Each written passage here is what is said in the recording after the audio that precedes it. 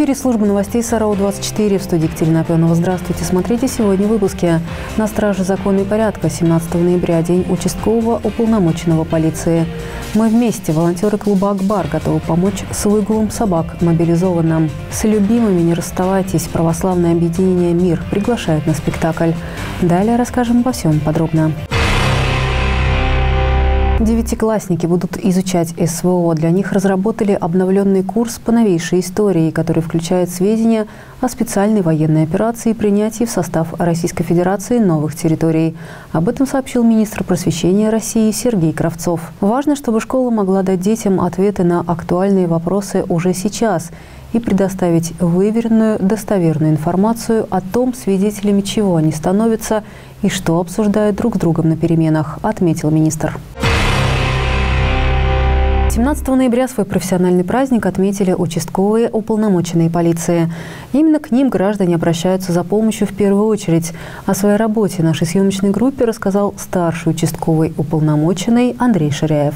Андрей Ширяев работает участковым 11 лет. Пришел на службу сразу после окончания Нижегородской академии МВД. Год назад Андрей Владимирович стал старшим участковым. Участок у нашего героя его напарника большой, от Силкина до Чапаева и Куйбышева, Карла Маркса и Ленина. На территории живут почти 8 тысяч человек, и каждому из них может понадобиться помощь. Есть и неблагополучные граждане, с ними участковому приходится много взаимодействовать. Специфика деятельности участкового полномоченного состоит э, в первую очередь э, это рассмотрение заявлений обращений граждан, проверка состоящих на учете, проведение с ними профилактической работы. Граждане, проживающие непосредственно на моем административном участке, могут обращаться по мне всем по любому случаю. Мы принимаем абсолютно все заявления, рассматриваем их, принимаем законные обоснованные решения. Чаще всего к участковому обращаются по поводу краж и причинения телесных повреждений. Много жалоб поступает на нарушение тишины. Андрей признается, что служба в отделе участковых уполномоченных позволяет ему все время находиться в тонусе. Работают участковые посменно с 9 до 18, либо с 14 до 23.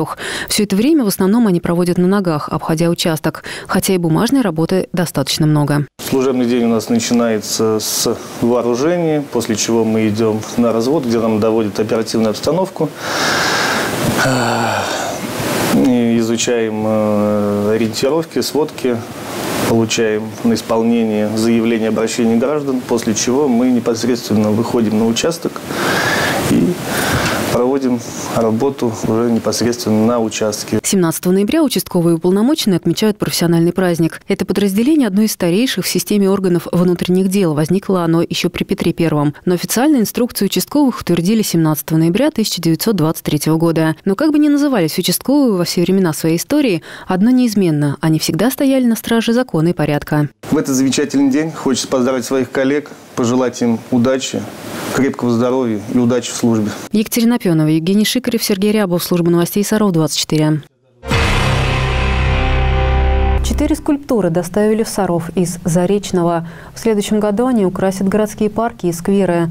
Фигуры изготовили в рамках Всероссийского симпозиума скульпторов, и часть из них передали нашему городу в рамках сотрудничества между Саровом и Заречным. Другая важная информация в подборке коротких новостей. Возгорание произошло в гараже Гороавтотранса 17 ноября. Пострадавших нет. Автобусы, выполняющие перевозку пассажиров, не повреждены. Но транспорт сильно покрылся копотью, поэтому его отправили на повторную мойку, в том числе и салонов. После технического осмотра автобусы вновь вышли на маршруты, но с опозданием. На перекрестке Московской Зернова полицейская машина стала участником смертельной аварии. Днем 16 ноября служебный автомобиль ехал с проблесковыми маячками и сиреной на свой красный, но врезался в Кия, который выехал на перекресток на зеленый сигнал светофора. В аварии погибла пожилая пожилая женщина, которая ехала в иномарке. Главное управление ВД России по Нижегородской области проводит проверку. Все обстоятельства ДТП выясняют, сообщает пресс-служба ведомства. Хоккейный клуб «Саров» приглашает горожан на вторую домашнюю игру. В субботу, 19 ноября, наши игроки в Ледовом дворце встретятся с ХК Княгинина. Начало матча в 13 часов. Прямую трансляцию игры можно посмотреть на канале «Саров-24» для лиц старше 12 лет. 1 декабря в России начнут по-новому вести учет в системе обязательного медицинского страхования. Нововведение направлено на консолидацию информации о пациентах, получивших помощь на региональном и федеральном уровнях. Теперь в базу данных о гражданине будут вносить сведения о месте его пребывания и месте выдачи полюса. Это не только упростит процесс оформления документов, но и повысит эффективность обмена данными между различными лечебными учреждениями, участниками системы ОМС, в которой гражданин будет обращаться, считают эксперты. Детей предполагают вывести в отдельную категорию. Не имеющий полиса гражданин может оформить его на портале госуслуг, а новорожденным с 1 декабря его станут выдавать автоматически. Информация о бумажном полисе также автоматически появится в ГИС ОМС. С 1 декабря вместо полиса граждане смогут предъявлять и удостоверение личности. Если вы переехали в Саров из другого региона нашей страны, вам необходимо в течение одного месяца выбрать страховую компанию по новому месту жительства. Сделать это можно как при личном обращении в офис организации или в МФЦ, так и онлайн на портале госуслуги. Клуб «Акбар» Центр внешкольной работы готов помочь семьям мобилизованных с выгулом собак. Волонтеры берут на себя прогулки, доставку к ветеринару, консультации. Как обратиться за помощью, расскажем далее. Помочь с выгулом собаки, доставить животное к ветеринару, либо проконсультировать по любым вопросам. Семьи мобилизованных саровчан, у которых есть домашние питомцы, могут обратиться за помощью к волонтерам клуба любительского собаководства «Акбар». Добровольцы присоединились к акции «Мы вместе». Сейчас, наверное, все слышали и везде, значит, гремит и в соцсетях, и, значит, это, и это так от людей, что есть э, всероссийская акция «Мы вместе», которая помогает она вообще большая, но в данный момент, а, значит, ведется помощь мобилизованным гражданам. То есть это нашим солдатам, которые ушли защищать нашу Родину. У кого-то с уходом близкого на фронт просто не остается времени на выгул животного, а кто-то едва ли сможет удержать на поводке большую собаку. А попросить о помощи порой некого. Поэтому такая поддержка тоже важна, считает Светлана Романова. Автоволонтеры могут доставить животное к врачу или сходить в магазин за зоотоварами. Все, кто хочет помочь семьям мобилизованных, могут присоединиться к клубу. Опыт есть, поэтому проблем проблем нет. И мы ищем сейчас тоже, если кто-то желает а, вот так влиться в нашу компанию, то пускай тоже звонят, мы никогда никого не выгоняем. Присоединиться к волонтерам можно, позвонив по номеру 8 903 040 88 60 или написав Светлане Романовой сообщение в соцсети ВКонтакте. Анна Пилипец, Константин Островский, Сергей Рябов, служба новостей Саров, 24. На этой неделе в Саров пришла климатическая зима. Ждать ли еще потепления до декабря и какую погоду синоптики прогнозируют до Нового года, расскажем далее.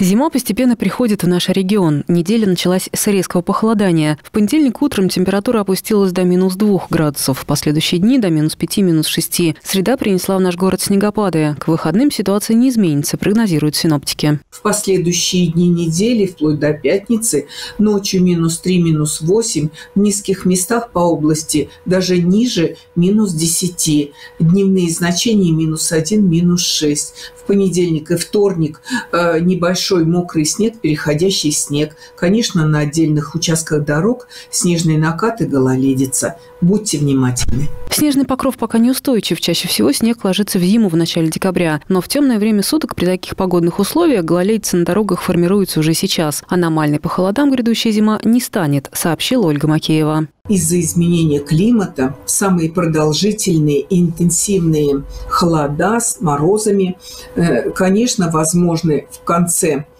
э, января, начале февраля.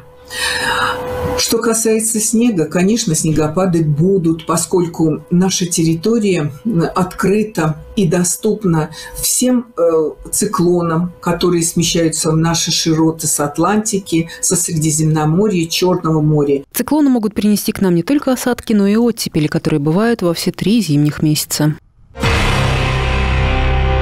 Волонтерский центр «Радость моя» начинает подготовку к традиционной рождественской акции. Ежегодно в декабре волонтеры поздравляют детей с инвалидностью, с Новым годом и Рождеством, дарят им подарки, купленные на пожертвования горожан. Сбор средств на акцию стартует на этой неделе. С Новым годом и Рождеством православный волонтерский центр «Радость моя» поздравляет детей с ОВЗ и инвалидностью с 2010 года. Добровольцы приходят к семьям, дарят ребятишкам подарки и рассказывают историю о Рождестве Христовом.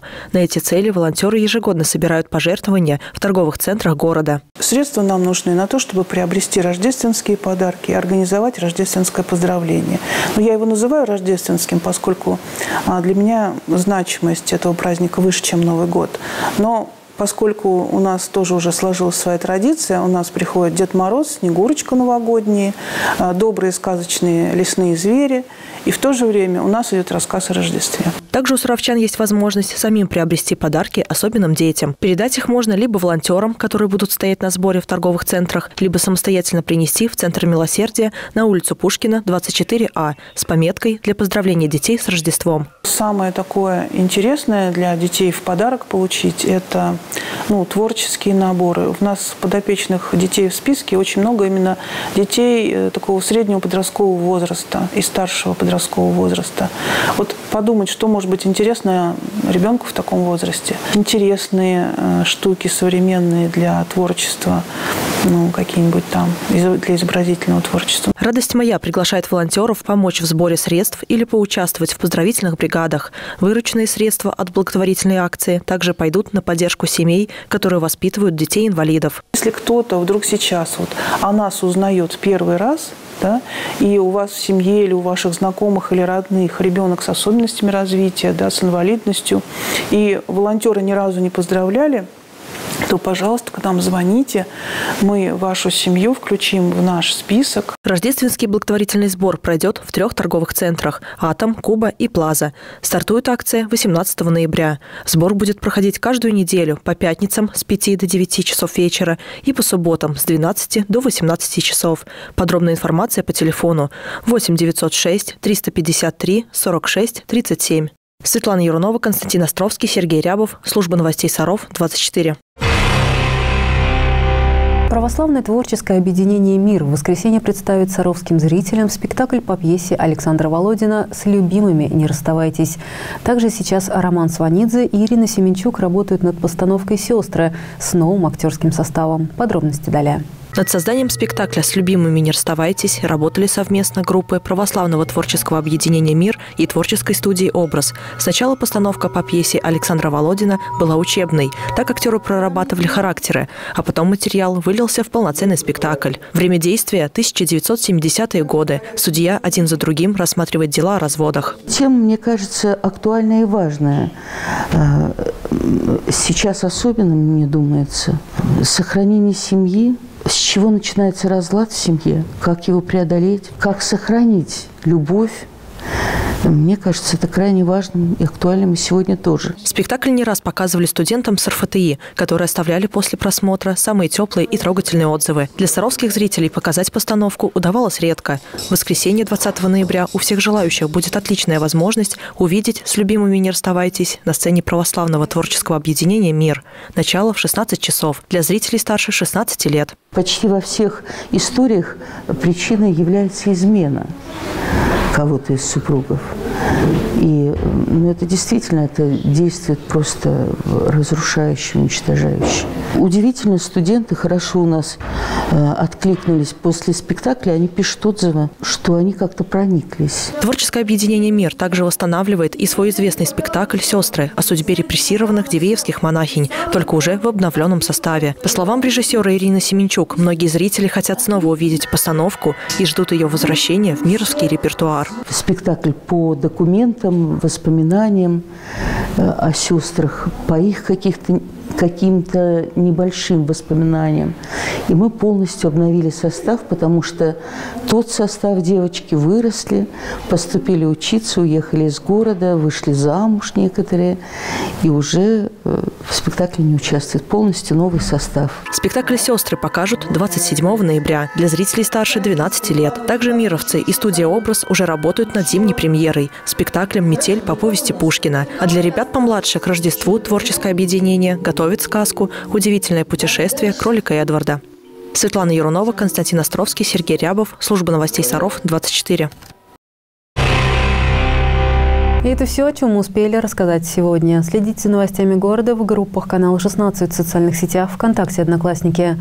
Там же вы найдете все информационные выпуски и авторские программы. В студии работала Екатерина Пионова. Всего вам доброго и хороших вам новостей.